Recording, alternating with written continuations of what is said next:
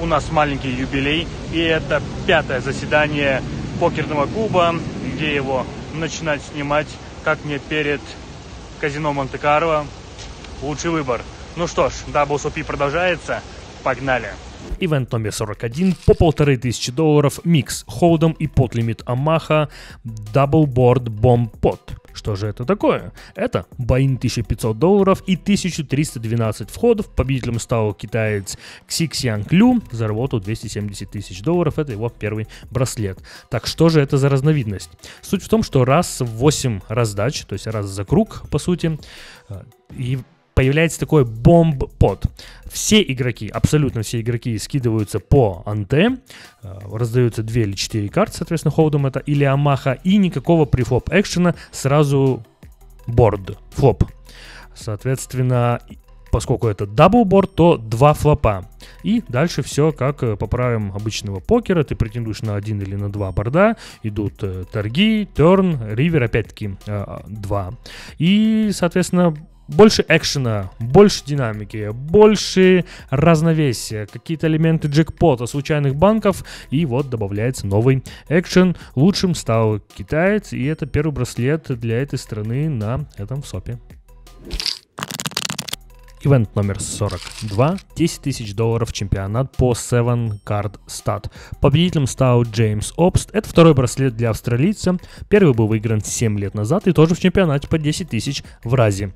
Получил при этом примерно столько же за каждый браслет по 260 тысяч долларов. В хедзапе был обыгран очень сильный трехкратный обладатель браслетов WSOP Пол Вольпе.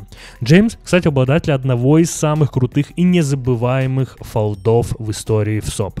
Причем это было в седьмом, кажется, предфинальном дне главного события в СОП 2016 года. И вот эта раздачка. Прифоп у нас мультивей под. На флопе валет дама 7 э, с крестовым стрит флэш дром. Идет бет, рейс от Руэна а Obst 7.7 э, делает re-raise и Ruin Calls 9.8 крести.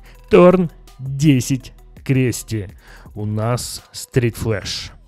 Obst сыграл call. И River 10 закрывается full против Flash. Опс, э, конечно же, ставит и выкинул свой house на ставку от Руэна. Тем самым это раздача вошла у нас в анналы истории. Максим Писаренко закончил турнир на 13 месте. Пока в Вегасе идет в СОП, Тут в Калифорнии, в Хаслерс казино идут э, кэш-игры, блайнды 100-200, и мы бы не очень обращали на это внимание, если бы не два человека. Футболист сборной Бразилии Неймар э, и бизнесмен, но и большой любитель покера Алан Китинг как уже сказал, 100-200, идет э, рейс 1000, э, там, колы, 3 бет 5000 от Алана Китинга, Стус 4 э, буби, э, Неймар и еще два игроков делают кол, флоп дама 9-2, дама 9 буби, то есть нацевый флеш-дроу Китинга, канбет там кол, терн шестерка, не бубновая, у Неймара там короткий стек, и Китинг ставит просто лын, Стус 4 буби, с вождром. Э, Неймар делает кол по 9-5. То есть вторая пара без кикера. То есть э, дама 9, 2, 6. У нас 9, 5 э, без бубей. У Китинга туз 4. И давай крутим дважды. Там где-то по 7-4 выставились на торн. То есть банк где-то 200. Он такой, ну, окей. Run twice все бы ничего, да, я бы, бы в этом бы не рассказывал. Э, на одном ривере бубнушка, на другом э, ничего, и, соответственно, поделили банк. И тут такой Китинг говорит, а давай поставим по 50 тысяч и еще, еще один раз крутанем просто ривер. Неймар. Салам алейкум. Давай, 50 тысяч, бам. Э, Неймар выигрывает. Ну, то есть, у Китингу надо, чтобы упала бунушка или туз. Не падает ничего. Он говорит, не-не, братан, давай еще раз по 50. Поставили еще раз по 50. Проиграл. Ну, Китинг проиграл. Давай еще раз, третий раз. Проиграл. Четвертый раз проиграл. Там на пятый раз, кажется, они поставили по 60 тысяч. Э, и в итоге из стеков 380 тысяч, который был у Китинга перед раздачей, у него стоит 75. Говорит, все, давай, ставим малын, э, натягиваем карту, вот, все собрались как дети, как будто там, знаете, какой-то фрирол играют, и сейчас от этой карты все зависит. Э, в общем, 8 раз, сначала, да, It Twice был просто обычный, и потом 6 раз подряд открывали ривер, все выиграл Неймар, и просто плюс 380 э, тысяч за 5 минут и 8 э, риверов. Как вам такая история? После этой раздачи Неймар собрал вещички и поехал в Вегас. Вот э, Хельмут с ним уже сфотографировался. Кстати, на минуточку, Неймар, он Покер Старс Про входит в команду. И вопрос любителям футбола. Сейчас проходит чемпионат Европы по футболу в Германии. Почему Неймар не принимает в нем участие? Принимаются только неправильные ответы. И вот э, видосик, э, кажется, по 2500 долларов турнирчик, в котором Неймар играет на общих основаниях со всеми. Ивент номер 43 по полторы тысячи долларов, микс под лимит Амаха Low, Амах Low и Big Амаха. Победу одержал Магнус Эденгрен, плюс 196 тысяч. И вот что он э, пишет, что в целом он уже не профессиональный игрок. Он закончил со своей карьерой и просто приезжает получать удовольствие от Вегаса, have fun с друзьями, вот так вот. В нескольких шагах от очередного браслета остановился Фил Хельмут, и это только четвертое место. Из наших э, только Илья Крупин зашел в призы, забрав обратно два buy-in-а. И слово передаю Андрею Кайгородцеву. Ну что, друзья, у нас новый день, новый турнир. Играем три игры все hi-lo. Fix limit, четырехкарточная PLO hi-lo, ну и пятикарточная hi-lo. Очень хотел этот турнир сыграть, так как мне очень нравятся эти игры. Будем надеяться, что в нем сложится. Ивент номер 44 по 2000 долларов No Limit Hold'em собрал 1561 вход. Победителем стал Джеред Кинджери плюс 410 тысяч. Причем пару лет назад он в Килополяне на 20 тысяч человек а, был вторым по 500 долларов и тогда тоже дали 430 тысяч и вот сейчас 410. Помимо этого у него есть только один мини-кэш на 700 долларов и все. Представляете, какой у него а, КПД, какой у него рой. Иван Рубан, Михаил Заволок, Анатолий Злотников попали в призы, но забрали себе всего лишь по два боина. Небольшое видео от Антона Смирнова и мои вопросы о том, как складывается серия. Далее цитата. Серия пока неудачна. Первую неделю были мини-кэши, но дальше все плохо. 12 турниров сейчас без ИТМ подряд. Составы, как обычно, отличные. По сравнению с прошлым годом, все без изменений. Если это заседание наберет 5 лайков, я сразу приступлю к работе над следующим видео. И наш Максим Писаренко. Победа, чистая победа и золотой браслет. Кстати, удивительно, полгода назад Максим в рамках Покер Go выиграл турнир по Хорс здесь же, в Вегасе. Тогда было 87 входов и принесло за победу 117 тысяч призовыми. При этом у Максима есть множественные кубки, в том числе и с ЕПТ Сочи. Топ-3 главного события ЕПТ. Победа в хайроллерском турнире на Poker Stars Championship, он же ЕПТ Open. Несколько кубков Беларуси, РПТ и БПТ, кубок э, WPT по Амахе, раннер-ап в этом же турнире Хорс, но на ВСОП Europe. А в его профиле есть такие дисциплины еще, как Бадуги, разные микс-игры, 8 игр, Амаха. Сейчас же за свою победу он получил 400 тысяч долларов. Но Максим Писаренко это не только офлайн игрок, это еще большой и сильный онлайн игрок. Как минимум в 2017 году Максим Аймлак Писаренко стал лучшим игроком э, в куб World Championships of Online Poker. Хотелось бы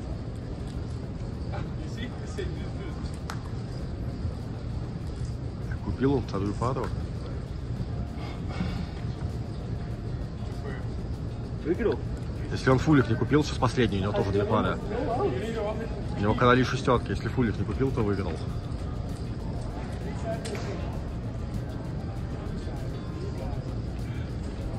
Выиграл.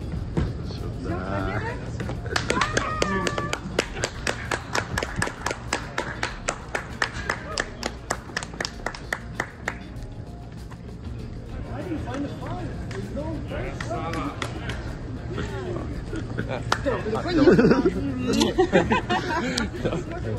Давай, целоваться не буду.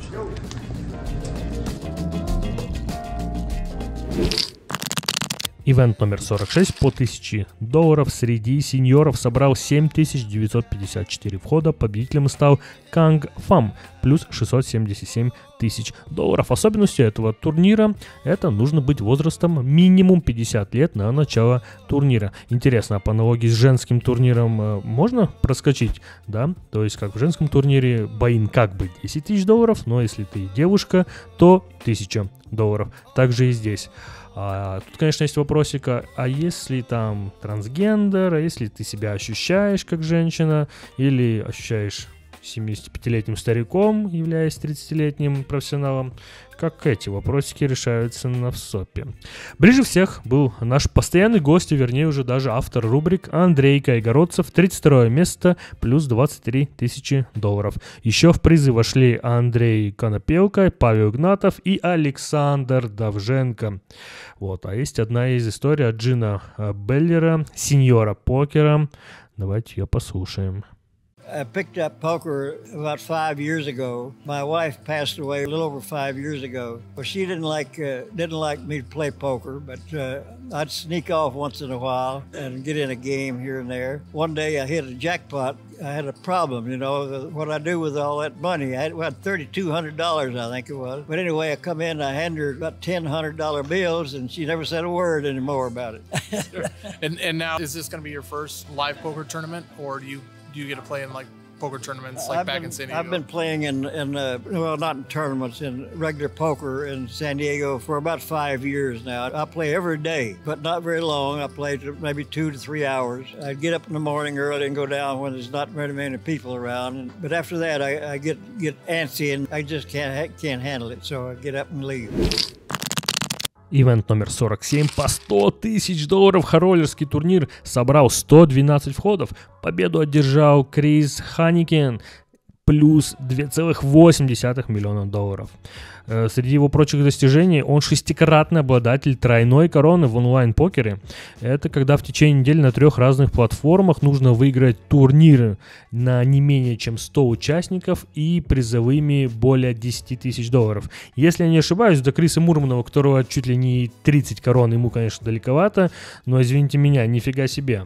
У него также есть третье место в рейтинге онлайн-турниров по покеру, и он раньше занимал первое место в рейтинге кэш-игроков игроков на Pocket Fives. Причем в офлайне у него есть титулы и Party Poker Millions, и EPT Барселона. А знаете, что все это объединяет? То, что он побеждал именно в турнирах хороллеров в рамках всех этих серий. Суммарно у него призовых более 16 миллионов долларов. В очередной раз отмечает возвращение свое Виктор Блум – знакомый нам Исильдур, историю про него рассказывал в предыдущих выпусках. Третье место плюс 1,3 миллиона.